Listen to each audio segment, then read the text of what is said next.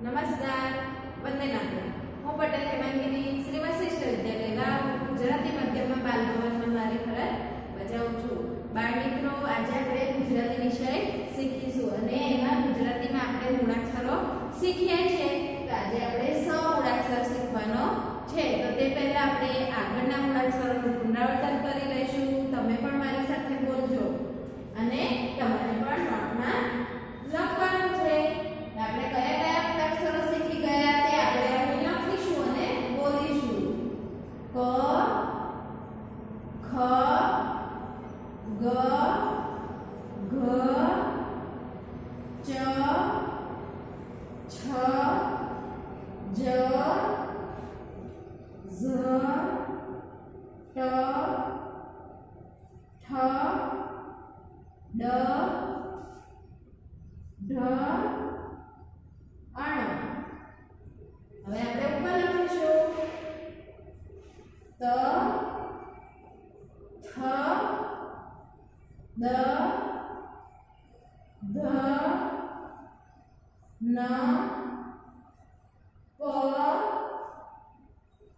ફ બ ભ મ ય ર લ. વ શ સ અને અહીં આપણે સસલાનો સ. સ શીખવાના છીએ. આગળ પણ આપણે બે મૂળાક્ષરો શ શીખી ગયા તો સ શરણાઈનો શ અને શ ષટકોણનો શ આજે આપણે સ શીખવાનો છે. ઓકે? સ સસલાનો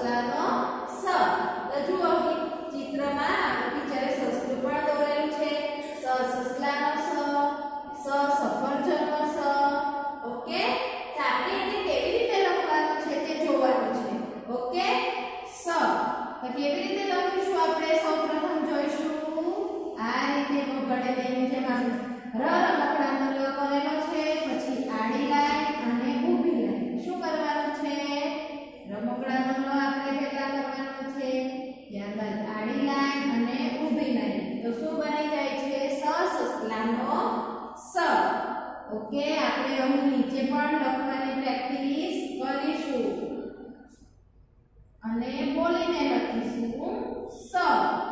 કહેવાય સર નીચે પણ લખીશું સ.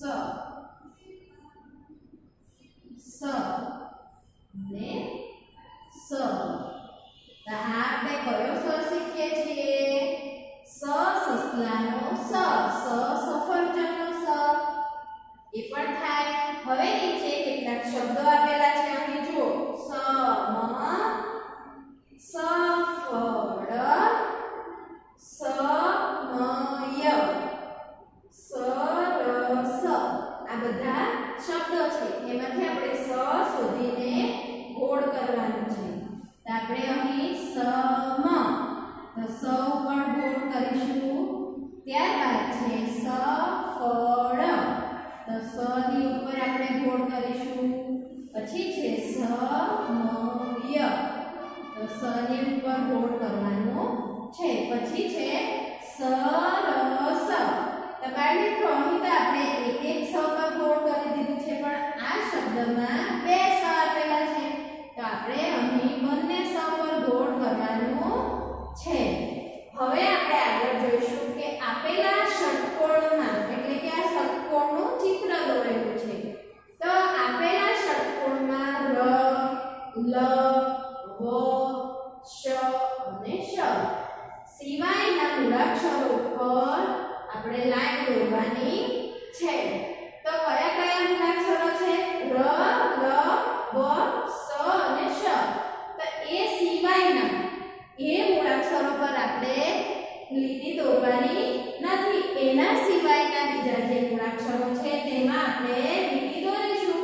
ત્યાં ષટ્કોણનું ચિત્ર આપેલું છે અને એમાં ગોળમાં બધા મૂળાક્ષરો લખેલા છે. તો પહેલા તો આપણે મૂળાક્ષરોને ઓળખવા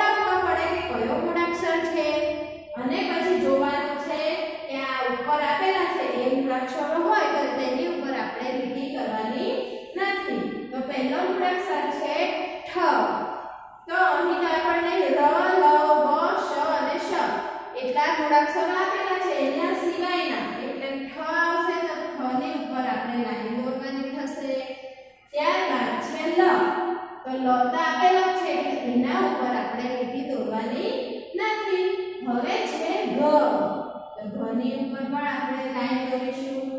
પછી છે ગ. ઘની ઉપર પણ દોરવાની છે. ત્યારબાદ ડ છે. ડની ઉપર પણ આપણે લીટી દોરીશું. પછી છે નીચે શ. તો અહીં આપણને શ આપેલો છે.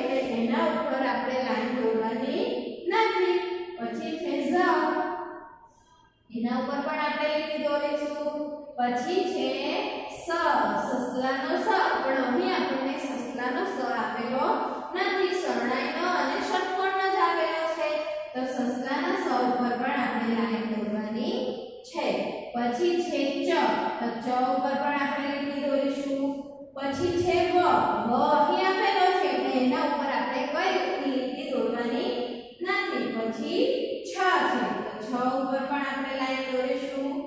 જ આવેલું છે તો જ ઉપર પણ આપણે લાઈન દોરવાની છે. પછી છે શ, શરણાઈનો શ જે અહીં આપણને આપેલો છે. એટલે આપણે એના ઉપર લીટી દોરવાની નથી. ત્યારબાદ છે ટ ટ ઉપર પણ લાઈન દોરીશું. ઢગલાનો